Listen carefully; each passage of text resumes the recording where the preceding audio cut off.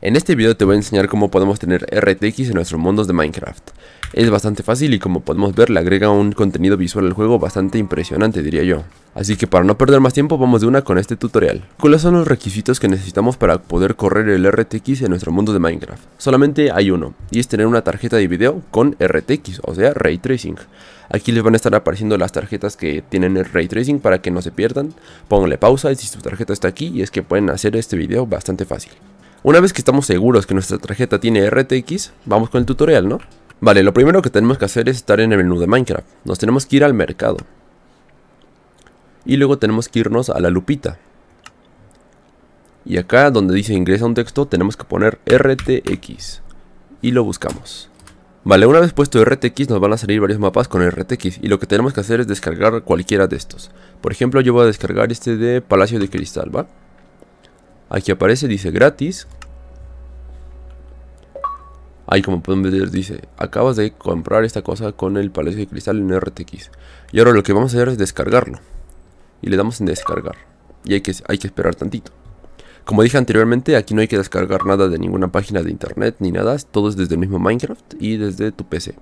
Y vale, una vez descargado el mundo, lo que tenemos que hacer es crearlo. Le damos en crear este mundo. Aquí no importa que le pongamos, nada más lo creamos y esperamos a que cargue.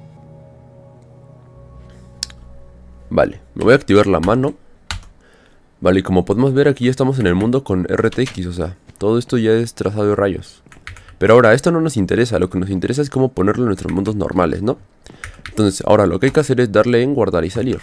La verdad no es, necesario jugar ese mundo. Vale, una vez fuera del mundo, como podemos ver, aquí tengo el mundo.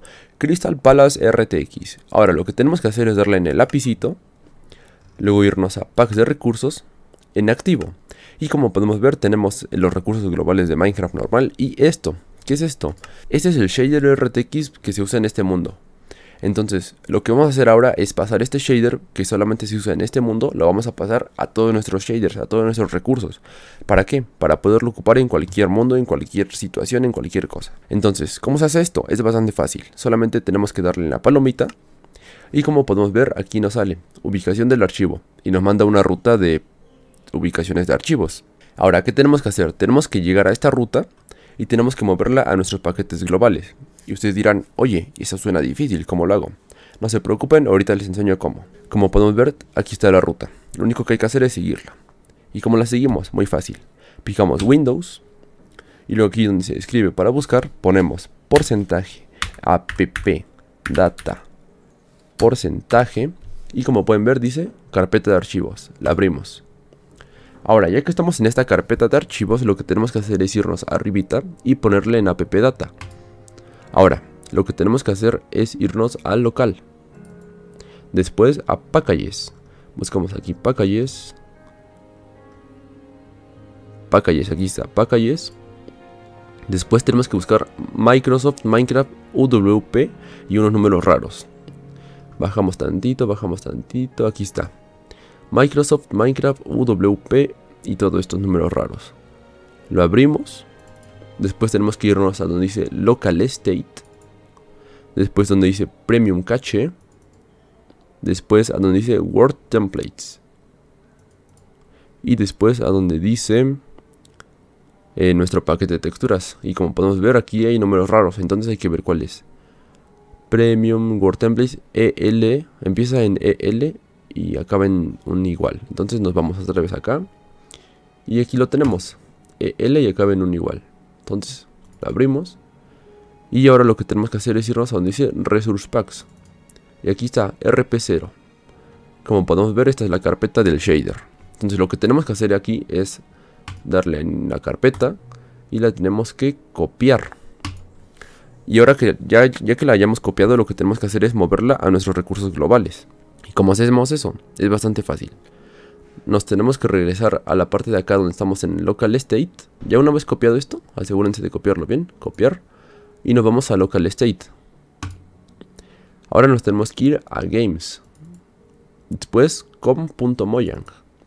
Y nos metemos donde dice resource packs. Y en esta carpeta vamos a tener todos nuestros paquetes de recursos. Lo que tenemos que hacer aquí es pegar lo que copiamos anteriormente.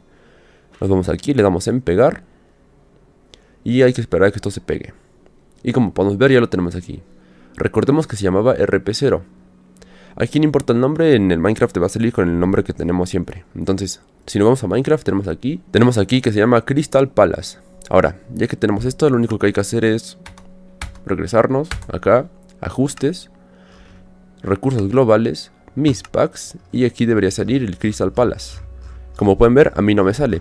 Qué bueno que a mí no me sale. Lo que tenemos que hacer, si no nos sale, es cerrar Minecraft. Es, quiere salir de Minecraft, aceptar. Y ahora ya que salimos de Minecraft, lo volvemos a abrir.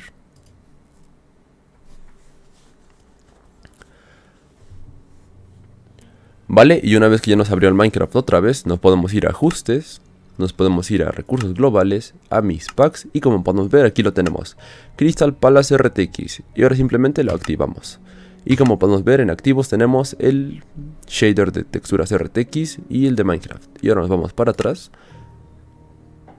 esperamos a que se active y nos podemos dar en jugar y nos podemos ir a nuestro video, a nuestro mapa más bien. Y ya podemos tener esta textura RTX en cualquier mundo. Bastante fácil, bastante sencillo y sin complicaciones. Sé que puede ser un poco engorroso la parte de los archivos, pero créanme que es fácil. Simplemente sigan los pasos al pie de la letra y no van a tener ningún problema. Si este video llega a 5 likes, haré un video con el mejor shader RTX que yo he encontrado y que es el que personalmente yo uso. Si este video les sirvió, les ayudó y ya pudieron tener sus RTX, sus Ray Tracing en sus mundos de Minecraft, pues agradecería mucho que me dejaran su like, que me comentaran si tienen dudas, que se suscribieran y que cualquier cosa que necesiten me lo pueden decir en los comentarios. Entonces, sin nada más que decir, espero que este video les haya sido útil y nos vemos en otro video. Se cuidan, se bañan, adiós.